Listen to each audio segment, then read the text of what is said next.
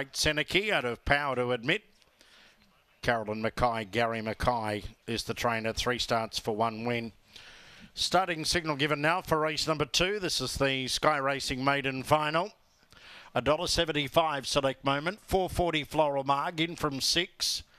$6.50 Gotham Ethics. And $9.50 Absolute Desire. $11 for Perfect Pins. Just about ready to run. Race two Ipswich, green light. Sky Racing Maiden Final. Favourite three select moment. Racing select moment came away fast. Will push through to lead over Sugar Pie.